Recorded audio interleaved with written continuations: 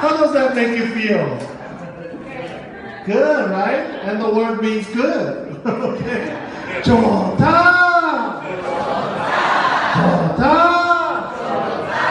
Okay, so whenever you feel the urge to shout, you know, like if you go to like African American church, people yell hallelujah. It's sort of like that. So there's nobody's gonna point at you and you yell. You gotta yell on your own. Okay? And you guys can yell on your own, right?